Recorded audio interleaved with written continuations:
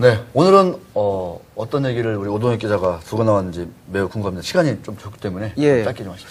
오늘은 뭐 최근 코스닥 시장에서 바이오 종목들에 대한 관심이 높아지고 있는데요. 네. 어, 오늘은 바이오 기업 코미팜을 준비해봤습니다. 코미팜? 예. 네. 코믹팜이 아니- 아니라 코미팜. 예, 코미팜입니다. 어떤 회사입니까? 아, 지금은 동물약품 제조업체로 등록되어 있는데요. 네. 어, 실제로는 동물 약품 이 부문에서 뭐 대부분의 매출은 나오고 있습니다. 네. 동물 약품. 예, 네.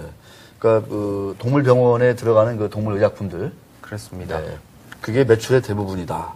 근데 이제 사실은 이 바이오 업체다 그러면 뭔가 예. 이 바이오 신약 이런 것들을 개발하고 그러지 않습니까? 이 코미팜은 어떤 것들을 좀 준비하고 있는지 그 얘기 좀더 소개해 주시죠. 예. 어, 코미팜이 시장에서 주목을 받고 있는 어, 사실 가장 큰 이유는 항암제를 개발하고 있기 때문인데요. 어. 현재 항암제 코미녹스를 개발 중입니다. 음. 서울 아산병원, 삼성 서울병원, 서울대병원 등에서 어, 공동 연구 기관으로 등록돼 있습니다. 어. 어, 그, 그러면 이 임상 실험 같은 경우는 어떻게 좀 진행되고 있고 그 현황을 좀 알려주실 수 그러니까요. 있나요? 아, 현재 어, 지난 2일 식약청으로부터 코미녹스는 간암 임상 이상 실험에 대한 승인, 승인을 받은 상태입니다. 간암 임상. 예. 어. 수술이나 국소 치료가 불가능한 간암 환자를 대상으로 임상 실험을 진행할 예정인데요.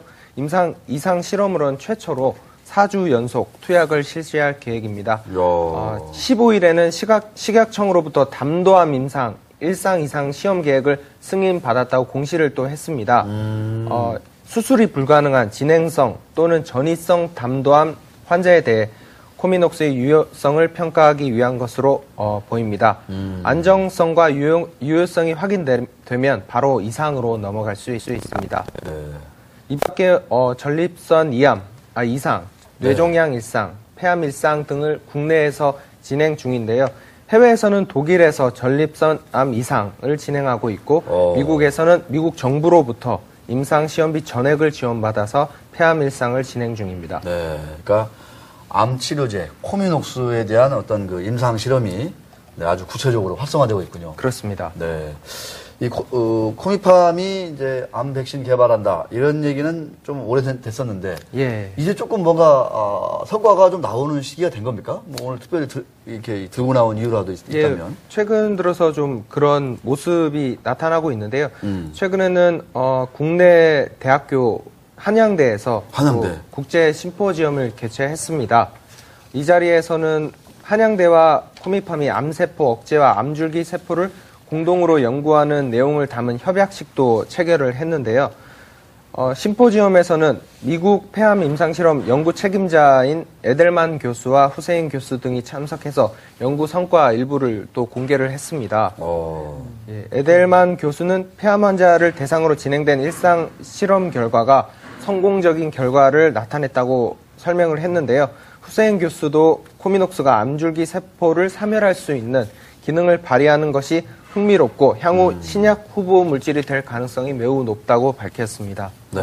그 코미팜 하면은 그동안 그 특허권 분쟁 관련해 가지고 굉장히 예, 시끄러웠는데요. 그렇습니다. 이 예. 문제들은 좀 어떻게 좀 해결이 되고 있나요? 예, 어, 오늘 사실 들고 나온 이유도 어, 여기에 좀 어허. 예, 초점이 맞춰져 있는데요. 최근에 그 어, 그동안 항암제 코미녹스에 대한 특허권을 두고 전 연구소장이었죠 이상봉 씨와 어, 국내외에서 소송을 진행해 왔습니다. 지난 6월 2심에서 코미팜이 국내에선 승소를 했고요.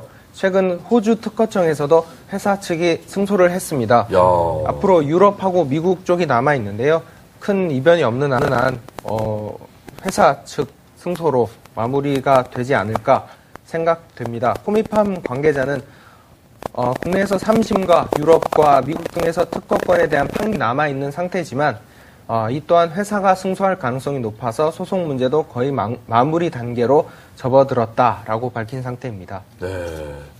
액면가가 100원인데 지금 만 원이 넘거든요. 네, 시가총액이 지금 5천억을 넘는 회사인데 중요한 건이 예. 시장 가치에는 코미녹스에 대한 어떤 기대. 임상 예. 어, 실험이 좀 구체적으로 진행되고 있고 아까 얘기했던 특허권 분쟁이 사측에 유리하게 지금 예. 어, 좀 이렇게 마무리되는 것 같고 예. 근데 중요한 거는 뭐 이영희 기자도 궁금해하겠지만 저도 참 궁금한데 이 코미록스 상용화, 상용화 되면 어느 정도 좀 우리가 매출이라든가 이런 걸 기대할 수 있는 건지 그거를 좀 마지막 한 1분 정도 남았는데 짧게 예. 좀 정리해 주시죠.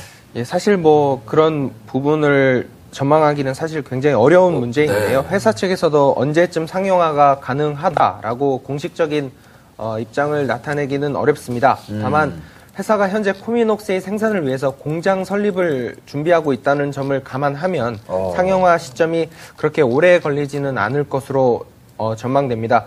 현재 충청북도에 수백억 원을 투입해서 동물약품 및 코미녹스 생산 공장을 설립할 계획인 것으로 알려졌는데요. 네. 여기에 한, 한 1년 정도가 필요합니다. 시설 투자비 마련을 위해서 해외 투자자들을 상대로 IR을 진행할 계획입니다. 아, IR. 예, 어, 어허. 회사가 자사주를 한 200억 원 가량을 매각하고요. 이 자금, 자금으로 시설 알겠습니다. 투자를 할 네, 계획입니다. IR까지 하는군요. 예. 코미팜, 코미녹스 잘 됐으면 좋겠습니다. 예. 자, 두 기자 수고하셨습니다, 오늘. 예, 네. 감사합니다. 수고하셨습니다. 고맙습니다.